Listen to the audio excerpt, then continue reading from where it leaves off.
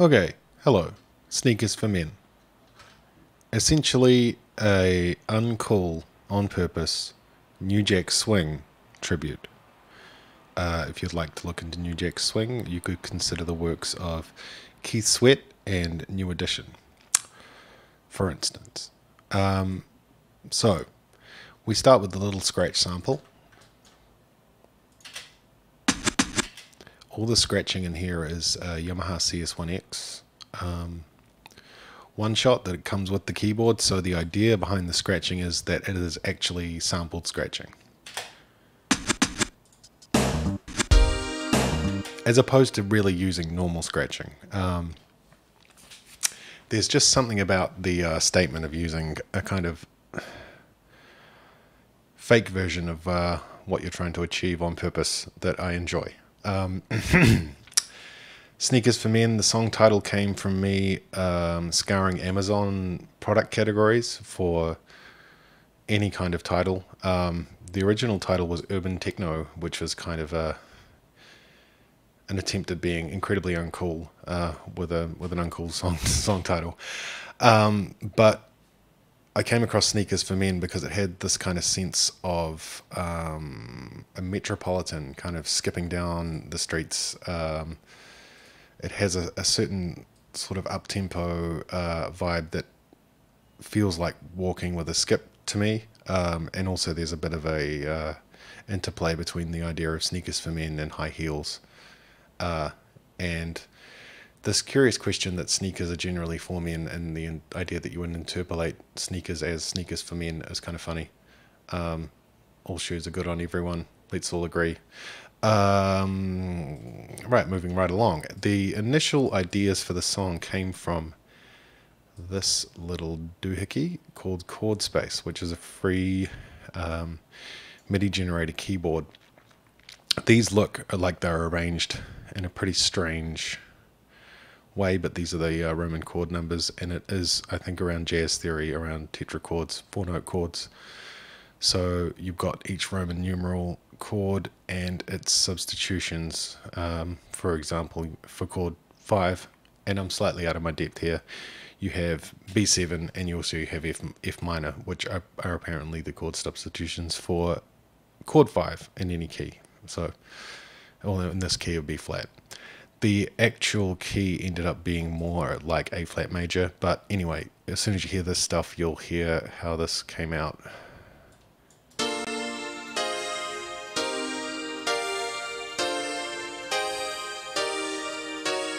So I would just sort of um, lay down a tempo track and just tap.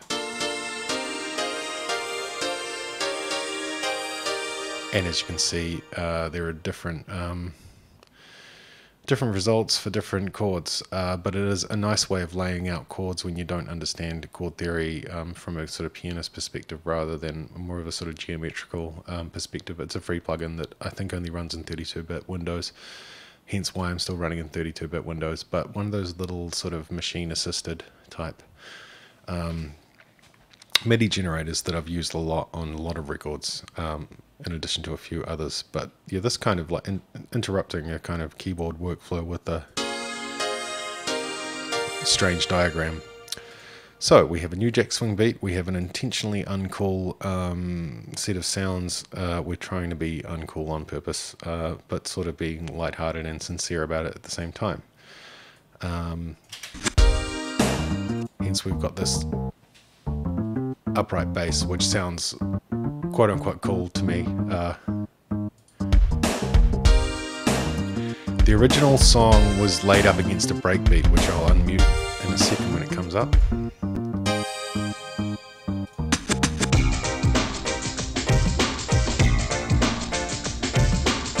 So this breakbeat is not included in the stems because I don't know whether it's my intellectual property or not. I don't know where it came from. It was on a um, it was on a uh, breakbeat pack that I got off the early internet. So here we are. Anyway, well, well, the idea is that we're using breakbeat architecture and uh, a kind of uh, a looped recording as a kind of basis for the rhythms, um, and then writing something else with one shots later. So the idea is that this is an audio clip we can scrub it. but these ones are sort of the same idea of the beat, but just done with one shots. So this is the drum sampler.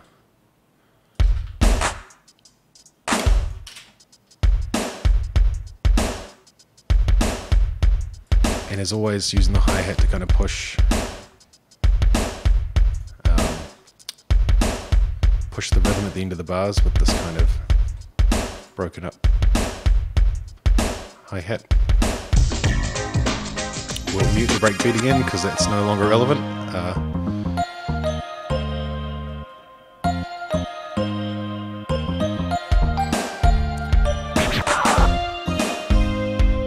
now there's two types of transition things I would like to show y'all, and that would be this one, Sweet Tines, which is a, like an electric piano. It sounds more like a harp. Um, as that's panning left to right, that's actually going through, if I'm not wrong, it's going into, yeah, it's going into a reverb send, which is panning off in the opposite direction. So this other line of automation down here is actually the effect send for this transition. And I would have moved it in there if later on, you know, working working on later records, I would have put that right next to it up here. But we'll keep it where it was just for for wholeness' sake. Um, so anyway, the the Tine Gliss runs from uh, the left channel to the right channel, but the reverb send runs from the right to the left. So you have this kind of rotating effect where the sound moves into one ear and then the after sound moves into the other ear. Which you don't really hear in the mix and have made it sort of not obvious and not direct with the exact timing of the sort of delayed out anytime it moves it moves semi opposite but just not being too um, rigid about the not trying to show off I'm just trying to make space with this. Um, the other transition element that we can have a look at is the preverbs. So it's this audio track here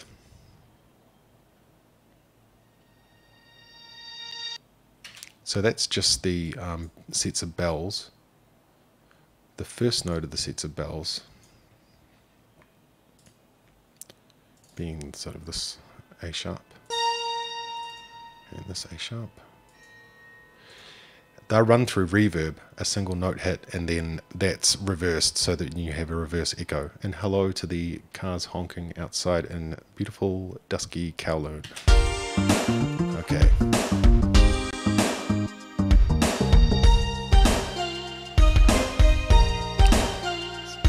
You've got this build of energy where it sort of feels like this thing's coming out of nowhere and then slams on that first note dry. So it's it's sort of a sort of a wetness kind of echo that comes back to like bam, you're on you're on this melody.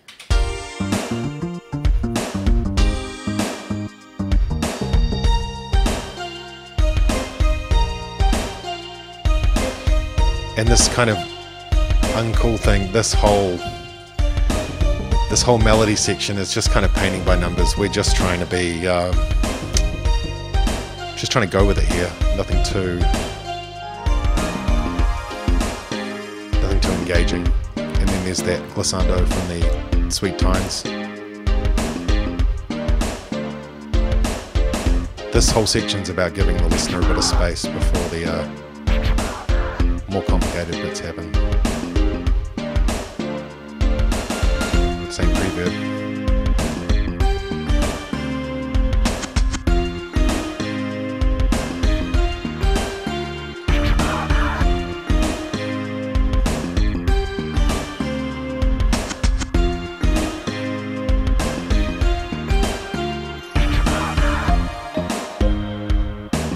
Like how this tune just kind of rolls along. It doesn't sort of surprise the listener yet. There's nothing too nothing too mega about any of the um, any of the sections. Um, there's quite a nice little pairing of bell sounds between the left and right channels. I will always do this. Um, if I make a sort of bell sound, I'll I'll duplicate.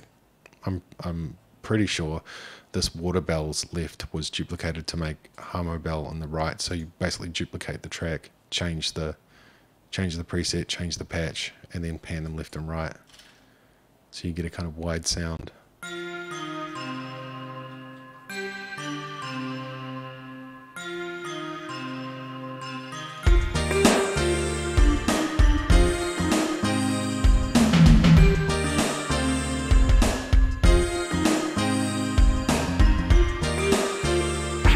But that's all kind of background detail. We let everything just be driven by the chord progression and the main melodies, and nothing too nothing too flashy.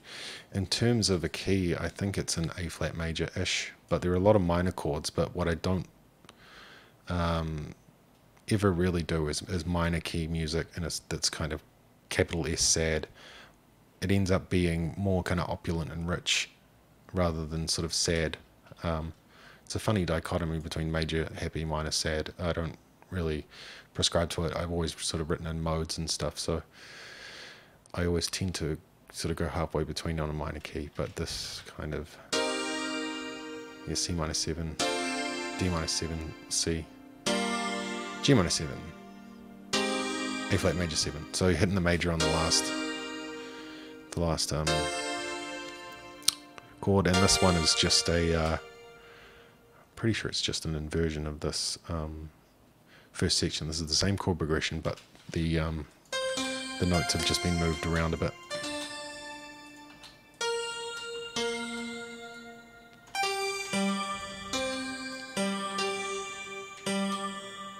yeah, something like that. So, so what I would do, and I still do a lot, is take a take a chord progression that sort of runs.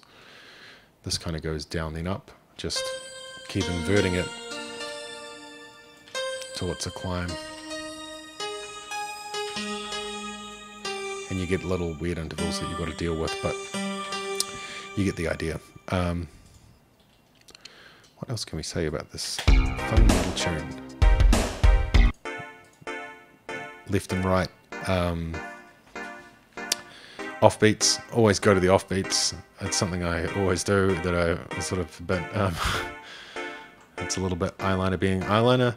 Um, these are bust out hard left and hard right into a into a track called wide e, piano, and then we thin up the track using the the allocation left and right buses. So goes in it goes in hard left, hard right, and then the, the group track is used to, to set the wideness of that bus. It's much easier, easier than trying to dial in something goes left 40, right 40, left 60, right 60. You just go hard left, hard right, and then you use another group channel to change the width of it afterwards.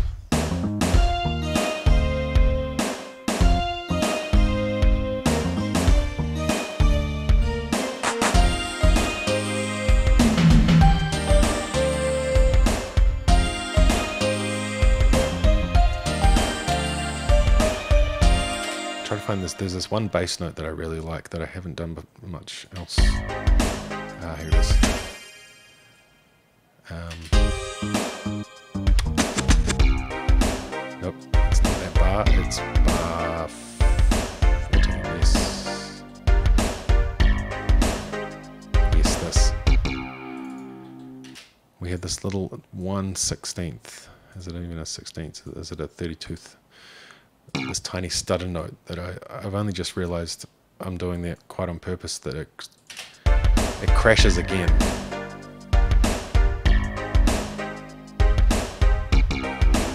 To sort of double accent the one, I really like that. Um, and I'll be using that again on future records. So thank you National Libraries for making me look. Because yeah, it, it felt a bit, bit too smooth. There wasn't enough skip in that um, in this part, but with this kind of double slam, makes it a little more, bit more unpredictable, but not too unpredictable.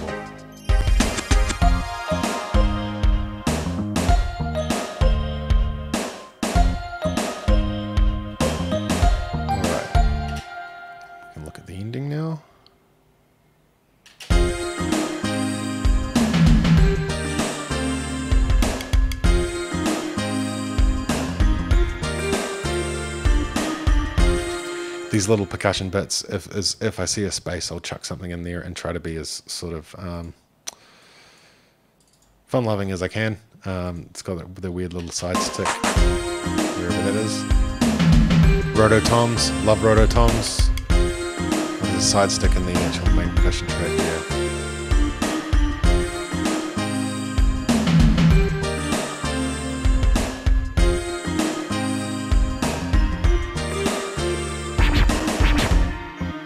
Then a typical kind of ending where we let it sort of fall apart.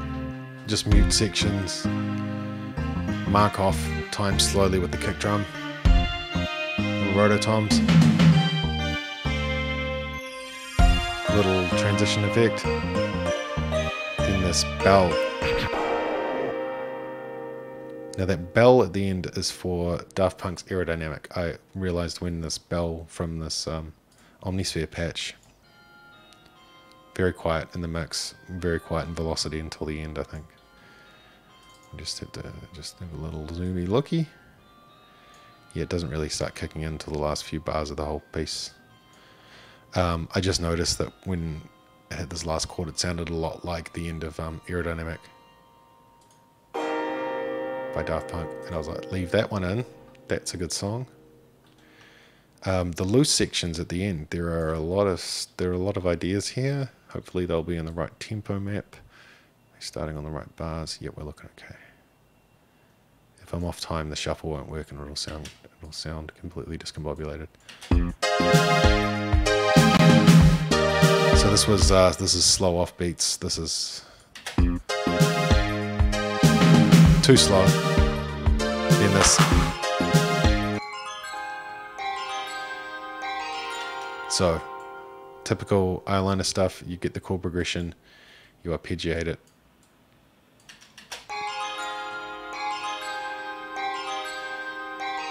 I like the two sections of these two chords. This could have been a little middle eight in there, but I felt like the tune was sort of busy enough, or it sort of needed to roll along on its own steam without being that interrupted.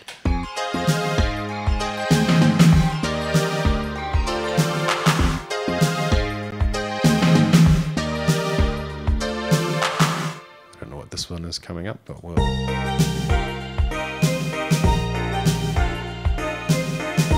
I think this is the working section for that for that middle eight type part.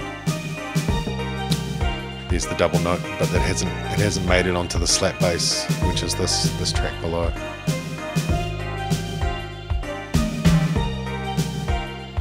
Yeah, this is me just trying to work out that climb. And what do we land to? Yeah, this is a more questioning type version of that bell sound. Too questioning, too like, what are you doing?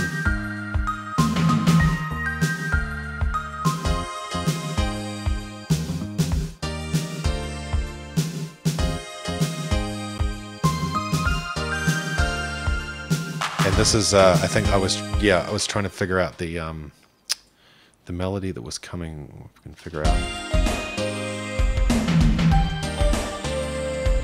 Yeah, this that became this section, this part. This dum dum dum dum dum would just started out as being a kind of sort of phantom. Now, where were we? This part.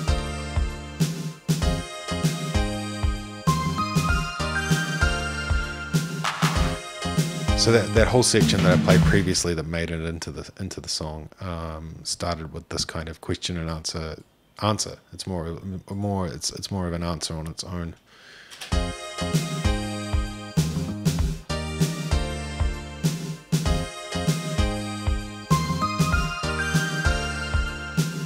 It's an answer without a question.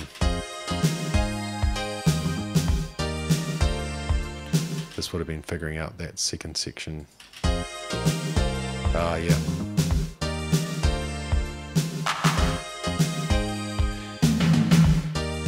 Trying variations on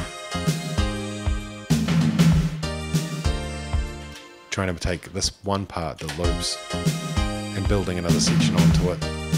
Didn't work.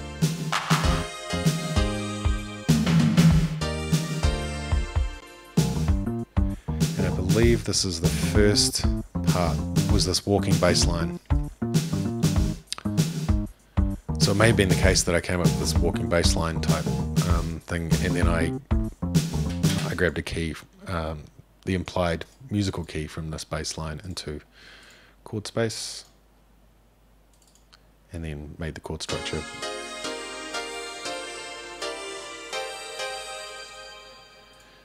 That's basically sneakers for men. Oh, additional trivia: there is a, vaporwave artist called Haircuts for Men that I didn't know about, and if I knew about them, I would have not used it as a song because it is too close to their work. Um, but here we are. So sorry if I missed you. Um, sneakers for men.